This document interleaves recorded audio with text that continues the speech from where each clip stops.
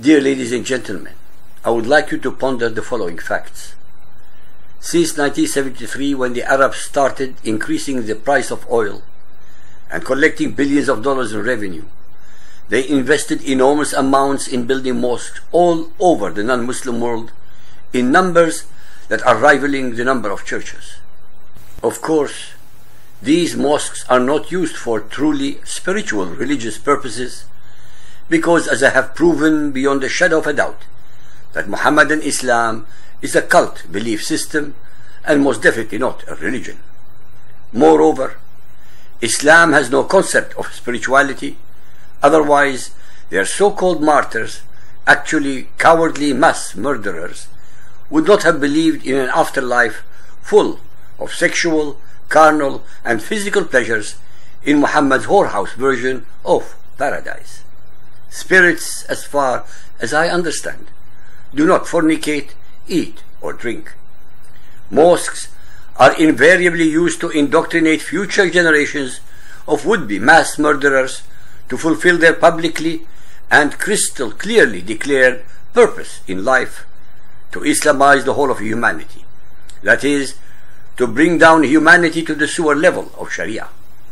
I would like to remind you that Ummah Muhammad the followers of Muhammad are only 20% of humanity, while we, Ummat al-Kuffar, or the nation of infidels, constituting all Christians, Buddhists, Hindus, Zoroastrians, Jews, animists, atheists, agnostics, etc., that is all those who do not believe as Muslims do, are 80% of humanity. Moreover, Ummah Muhammad of 1500 millions is the least productive, inventive, or creative in human history, doing its worst to subjugate, terrorize, and or exterminate 5,000 millions of Ummat al-Kuffar, who are by far the most productive, inventive, creative, and powerful in human history. Tragically, most of the Western leaders have jellyfish backbones more willing to submit than to stand up and be counted. Having set the benchmark of where the two groups stand, let me explain to you what the causes of Muslim rage are. To start with, Ummah Muhammad is prohibited by Muhammad's Quran and Sunnah. Sunnah meaning Muhammad's behavior, thoughts and deeds from ever enjoying life. Unbelievable as this may sound, let me share with you the following. They are prohibited from dancing, singing, playing musical instruments, having consensual sex, sculpting or painting human or animal forms, drinking wine, gambling, reciting poetry, wearing gold or silk, having any friends other than Muslims, not hating all humans who do not believe as they do, not treating females of the human species like domestic animals, etc. Ladies and gentlemen, try to visualize what would happen to your own psyche if all the above were forced upon you. I have no doubt that each and every one of you would turn into a zombie, the living dead. That is why the male followers of Muhammad boast that Christians and Jews love life, while they love death. Is it too much to understand the warped and indoctrinated mind of a would-be martyr who looks forward to receiving after death each and every single prohibited item in life for eternity? Male Muhammadan Muslims are always in rage, irrespective of nationality, color, race, or culture, because each and every one of them is a product of exactly the same depraved Sharia indoctrination. They are in reality angry and frustrated with their own miserable existence from which they are not allowed to escape because they would be slaughtered by their very loving kith and kin for apostatizing.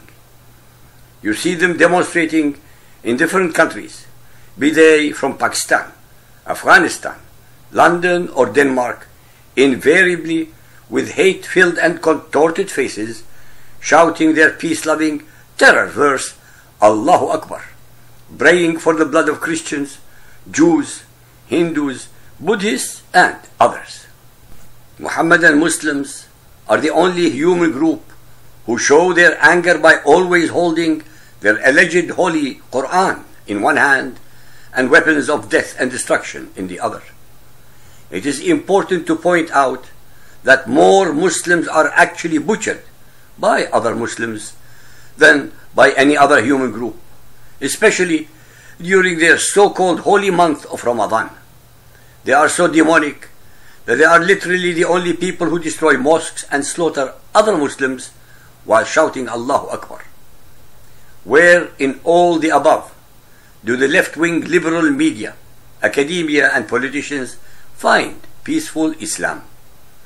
I have not been able to find out unless they are in bed with Islam or are abysmally stupid. Either way, they are traitors because they are aiding and abetting the enemies of all humanity. Muslims are angry when unbelievers defend themselves against their acts of wanton aggression. Muslims are angry for any perceived insult to Islam while they do not hesitate to abuse, slight and slur the beliefs of all other human beings. Muslims are angry if one makes a cartoon of Muhammad, but they do not hesitate at all from portraying other human beings as monsters and bloodthirsty aggressors. Muslims are angry if their Quran is burnt, but are more than happy to torch priests and churches or blow up temples or put fire to synagogues. Muslims are angry when their mass murdering thugs are killed in self-defense and instead of being ecstatic at the prospect of joining their alleged 72 virgins, Muslims show incredible rage. Why are Muslims so upset if the alleged martyr is dying for the sake of Allah, as he is supposed to do? Why not celebrate instead? Is it because even in the warped recesses of their indoctrinated minds, they know that the 72 virgins are a myth? In short, Muslims are angry because we, Ummat al-Kuffar, exist. Full stop. Dear listeners, I would like you to carefully ponder the following facts. Every single male believing or fundamentalist Muhammadan Muslim exhibits almost identical psychological characteristics irrespective of nationality, race, color, culture, or tradition. They demonstrate an obscene degree of hypocrisy, mendacity, racism, and unwarranted arrogance, compounded with a pathological and depraved indifference to reality, facts, mercy, compassion, friendship, loyalty, sincerity, morality, justice, or language. They are, like their mentor Muhammad before them, hate mongering, war mongering, racist, misogynist, vile, and hence most certainly ungodly. Those of you who may feel offended with such strong adjectives, please do us all a favor by refuting or disproving anything I reveal.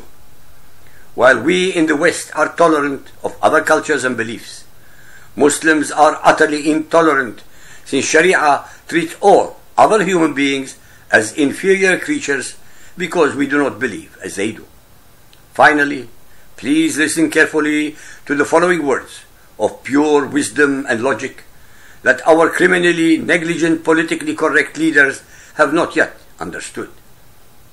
If we extend unlimited tolerance even to those who are intolerant, if we are not prepared to defend a tolerant society against the onslaught of the intolerant, then the tolerant will be destroyed and tolerance with them.